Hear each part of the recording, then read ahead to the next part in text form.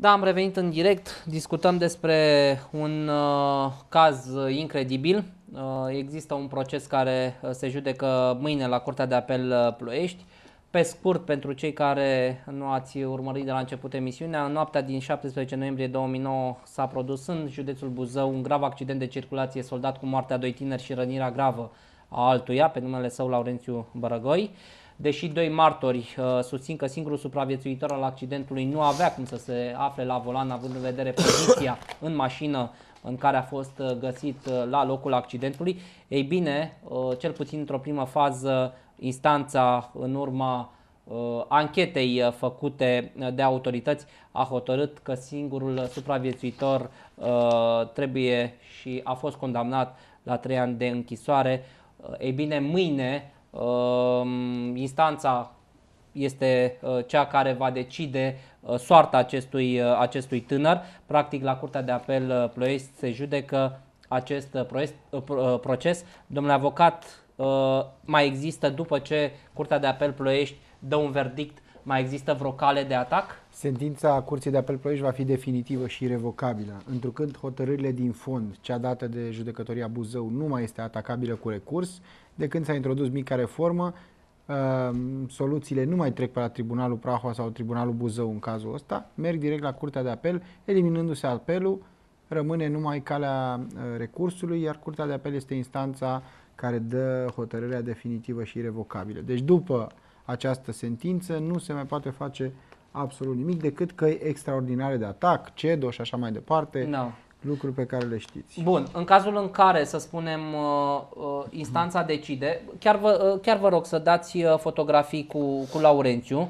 Uh, Acum uh, Laurențiu se află în uh, Belgia, domnul În Bărgui, Belgia, da? da. Bun. Uh, Este nedeplasabil pentru că în urma accidentului medicii au fost nevoiți să-i amputeze ambele picioare pentru a-i acorda o șansă. Din fericire a supraviețuit uh, celor două intervenții chirurgicale și Laurențiu acum e drept, are și momente de luciditate, însă în multe, în multe uh, situații își pierde uh, acest, uh, această lici- luciditate. De asemenea, nu se poate întreține singur. Bănuiesc că uh, are nevoie permanență de cineva care uh, să-l hrănească, mă rog, să-l ajute să se, să se întrețină. Nu De- puteți să-l lăsați, nu poate să-și ia o slujbă, nu poate să, Nu, nu, nu, nu poate să își decidă singur viitorul, domnul Vorădoi. Nimic. Ne- Deci nu poate să ia o decizie el singur. Ca Dacă să îmi ai permiteți, bază. un lucru interesant, Da. am găsit în rechizitoriul parchetului ce se reține în sarcina uh, învinuitului Laurențiu. Învinuitul a fost cercetat în stare de libertate. În cauză s-a procedat prezentarea materialelor de urmărire penală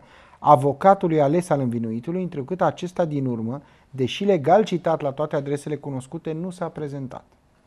Îi rețin circunstanța agravantă.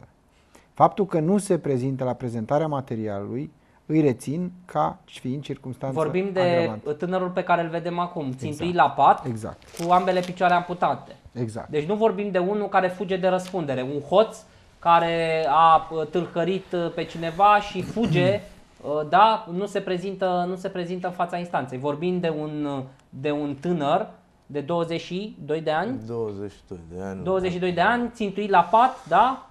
Nu se poate, evident, nu se poate deplasa pentru că ambele Și pe picioare lângă asta, sunt amputate. problemele, problemele neuropsihice sunt reale. O să vă citesc, dacă vreți, și concluziile Vă rog. raportului de expertiză.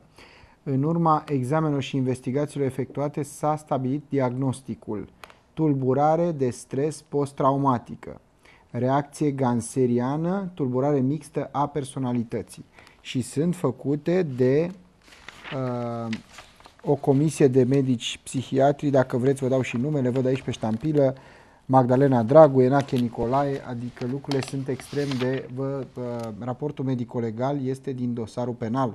Am înțeles, deci sunt, e o expertiză Bineînțeles. medicală de, de specialitate. Necontestat. Dacă să înțelegem că, mă rog, judecătorii, cei care vor avea uh, acest dosar pe masă, uh, pot trimite pe cel pe care îl vedem acum în fotografii după gratii sau îi pot, îl pot lăsa în pace, ca să spun Sau așa. îl pot achita pentru că, din câte înțelegem noi, uh, lucrurile nu stau așa cum au fost prezentate în uh, rechizitoriul parchetului. Aș Și vrea, o să aș vă vrea citesc. să, da, Vă rog. aș vrea uh, să dați și celelalte fotografii din uh, făcute la fața locului, la fața la locul accidentului, da? Bun.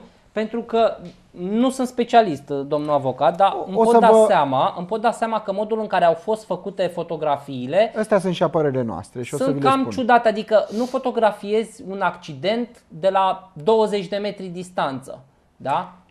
Uh, Prima oară, autoturismul, autoturismul este fotografia de la distanță, iar Dați-le în full, fotografiile, dați-le în, full și, uh, în full și scoateți bortiera, vă rog. fotografiile de detaliu o să vedeți că sunt făcute după ce au fost scoși cei trei din mașină. Adică pentru noi, pentru apărarea noastră, sunt irelevante. Iarăși un judecător sau completul de curte n-ar putea să se pronunțe numai pe o astfel de probă. Pentru că nu stabilește cu exactitate cine a condus mașina. Uitați-vă un pic unde sunt făcute, da? Unde este mașina. Fotografia a fost făcută de la 10 metri. Da, da, da. Probabil și mai mult uitați banda, uh, banda Poliției. poliției, da, care este... Uitați, astea sunt fotografiile de detaliu, dar deja este ziua și nu mai se află nimeni în autoturismul respectiv. No.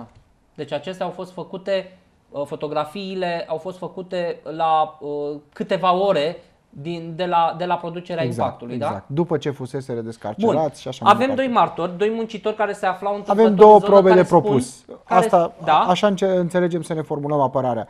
Odată, nu s-a stabilit o expertiză, prin expertiză, cine a condus mașina, deși planșele foto sunt de-a dreptul irelevante și nu ne ajută. Singurele mărturii, singurele lucruri care pot fi luate în seamă sunt declarațiile. Bun. Dar o să vă citesc declarația unuia din uh, echipajul ISU cu mențiunea că toate sunt la fel. Deci, ele sunt copii indigo, toate sunt la fel și ordinea desfășurării evenimentelor și aliniatele încep la fel și așa mai departe. Nu vă rețin atenția decât cu, uh, cred că o scăpare a uneia de la ISU. Menționez că din ce am văzut și din discuțiile purtate cu colegii, după terminarea intervenției, am concluzionat la momentul respectiv și mențin și acum opinia că tânărul pe care l-am salvat, și a, f- pe tânărul pe care l-am salvat a fost șoferul mașinii. No. Deci menționez că după discuțiile cu colegii am concluzionat, e o, o chestie de exprimare, în general eu singur nu concluzionez, dar noi am concluzionat, cred că asta vreau să Da. spună, că tânărul care a condus era Am Bărăgoi. decis. Cam Cu asta toții. este. Cam asta Bun. este. Uh, Nu zic mi s-a impus, că merg prea departe. Da, da, da. E, una dintre probele pe care o să vrem să le facem mâine și o să le propunem instanței de, de curții de apel, o să fie o confruntare între martorii sosiți la fața locului și reprezentanții și echipa ISU. Bun, de ce, uh, mai spuneți o dată, care ar fi, uh, să spun, motivul pentru care cei de la ISU, care au venit uh, la descarcerare, da, uh, au o altă variantă decât ceilalți doi martori care nu au nicio, uh, nu au niciun amestec în, în afacerea, nu sunt Discuția- rude, nu au nicio Discuția asta legătură o putem cu face victimele. pur ipotetic și Da. eu vă spun aceste lucruri că le știu indirect, adică de la domnul Bărăgoi, care le știe probabil din alte părți și cred că mai bine l-am lăsat pe dânsul să ne explice legătura între frate, ISU, lucruri care exced dosarul, Da. eu pe, pe, lucruri pe care Am nu le-am înțeles. văzut. Domnul Dar cred Bărăgoi, că cel mai ce, bine lămurește dânsul. Ce știți dumneavoastră? Ce știți dumneavoastră? De ce, S-a pus problema așa. de ce s-a pus problema așa? Uh, să vă spui, cred după mine, adevărul. Dacă era alt echipaj, sosea la fața locului alt e- echipaj și nu era acesta, se afla adevărul de În secunda următoare, în da? secunda următoare. Uh, Doi dintre membrii echipajului uh, cunoșteau toate persoanele din care se afla în mașină.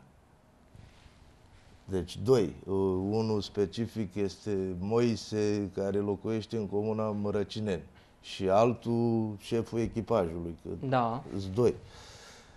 Uh, Acolo, uh, când au ajuns la fața locului, au văzut cine este în mașină, au scos telefonul, au sunat, veniți că s-a întâmplat ce s-a întâmplat.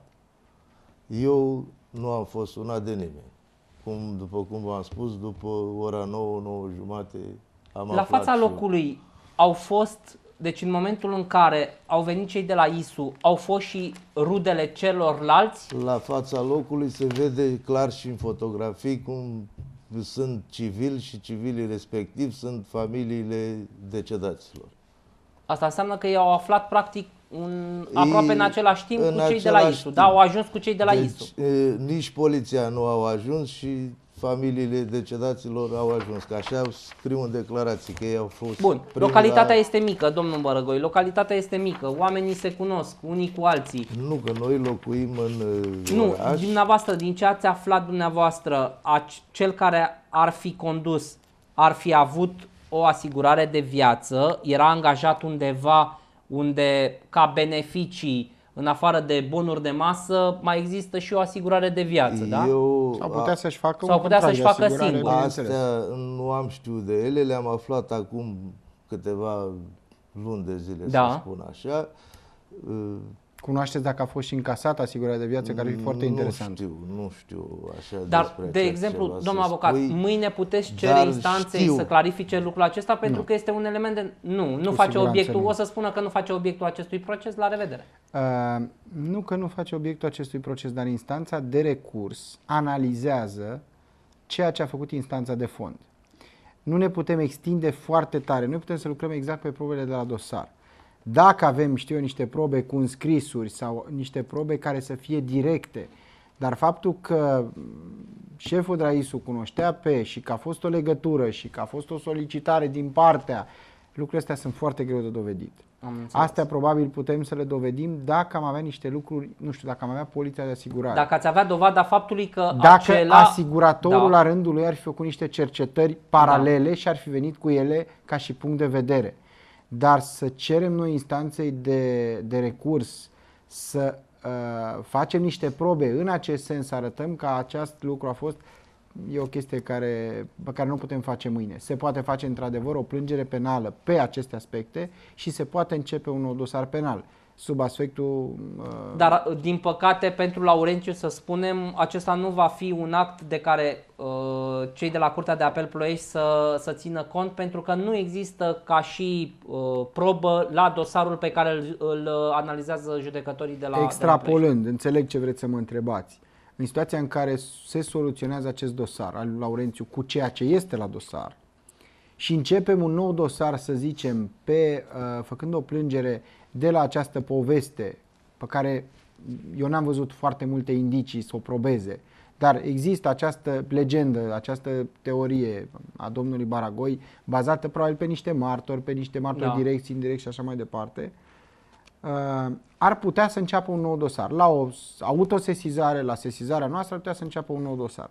Care dosar să recerceteze aceste aspecte cu uh, Cele deja atingere, există. cu atingere și asupra, să se folosească și de probe din acest dosar. Bun. Iar soluția acelui dosar, dacă vom avea Da. o soluție în sensul că, de fapt, s-a făcut o schimbare și s-a constatat în mod eronat faptul că nu a condus Bărăgoi, a condus celălalt, dar ca să se încaseze asigurarea de viață, șeful de la ISU, care era prieten cu nu știu cine, a reușit să facă această schimbare și este trimis în judecată acela, am putea să revenim în acest dosar, să redeschidem, să facem o revizuire cu mijloace de probă Da, noi, sunt dar foarte- deja constatate. Da, sunt foarte multe, au fost foarte multe situații în care uh, m, și uh, chiar vedete importante, da, uh, în care, uh, au, care au vrut să scape de, de pușcărie, uh, punând pe altcineva uh, să conducă. Mi-aduc aminte deja uh, recentul scandal cu Răzvan Lucescu, care acum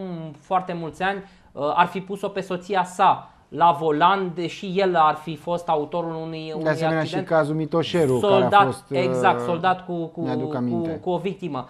Uh, mai aveți un alt caz în, uh, din experiența noastră Da, de da, da, avocat mi-aduc aminte. de genul, uh, poate A nu fost- de gravitatea acestuia, dar uh, care să Exact- ia o turnură din asta la exact 360 de aceeași grade? situație. Mi-am adus aminte acum, că m-ați întrebat și mai devreme. A fost un caz pe care cred că vi-l amintiți, în care s-a implicat foarte mult colegul Stavri. A fost cazul de la Slănic, Corect. în care, de care uitasem complet. Corect. A fost cazul de la Slănic și readucem aminte telespectatorilor că a fost lovită lângă o trecere de pietoni uh, fetița unui uh, domn uh, Baicu Da. din Slănic, a suferit niște leziuni și îngrijiri medicale foarte peste 100 de zile, deci a fost o situație la limită. Fetița știu că între timp și-a revenit. Dosarul nu este încă soluționat, este pe rolul uh, judecătoriei Vălenii de Munte.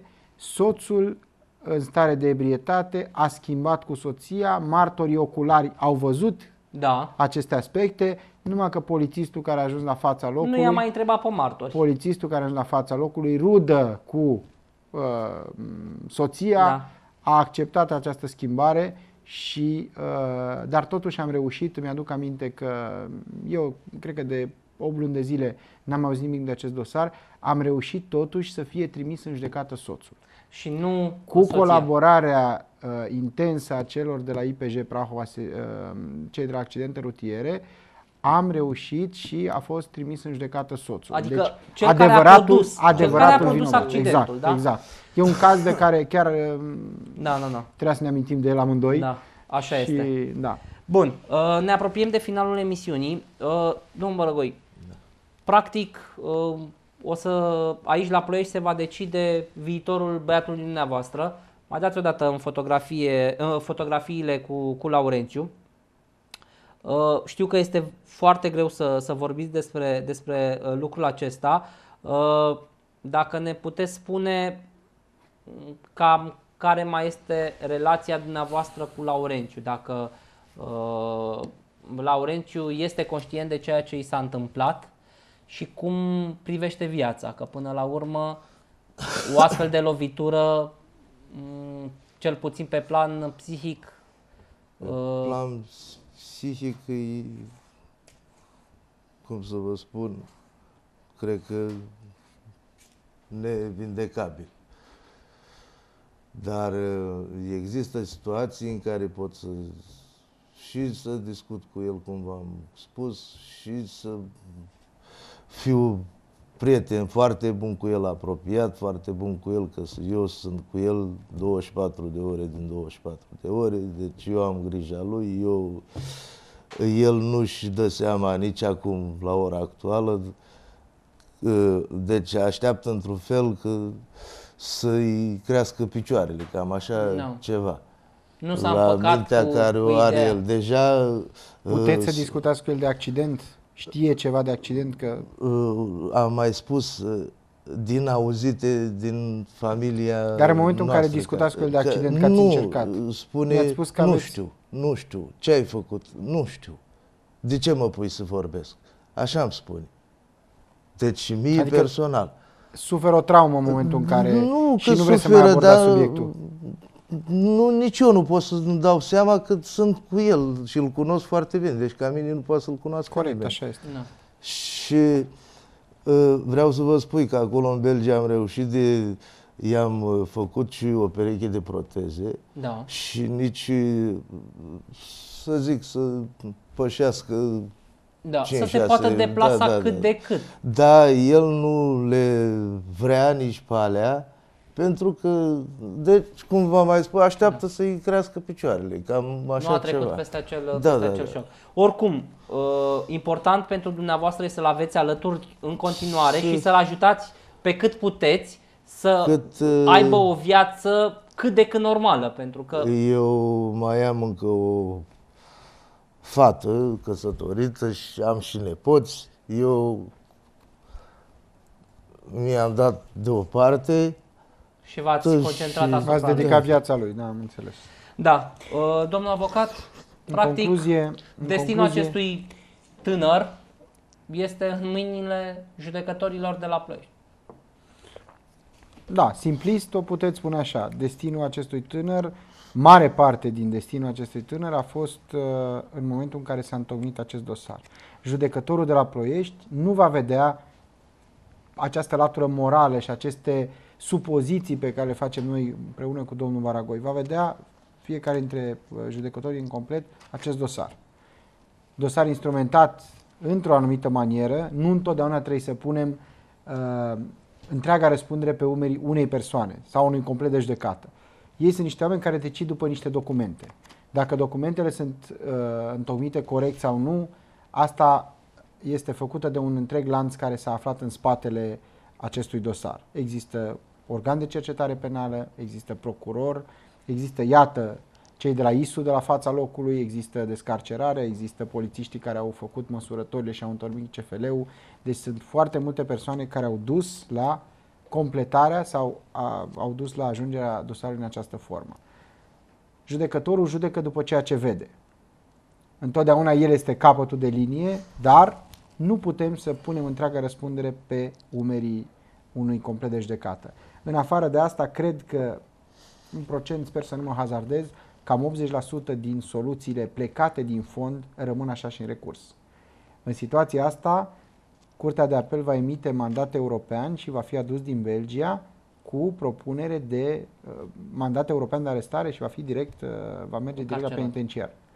Deși o situația o, este cumplită, situația da, este o, dramatică. O persoană în starea aceea nu știu cât mă rog, cum ar, s-ar putea descurca În sistemul dacă... penitenciar din România există persoane de acest gen încarcerate. Este o Dumnezeule. dramă pe care a suferit-o odată și în momentul în care va ajunge într-o, într-o, în situația asta, cred că va fi din nou un șoc pentru întreaga familie. Oricum, noi vom, uh, noi vom urmări acest uh, caz, uh, mai ales că, repet, există foarte multe informații.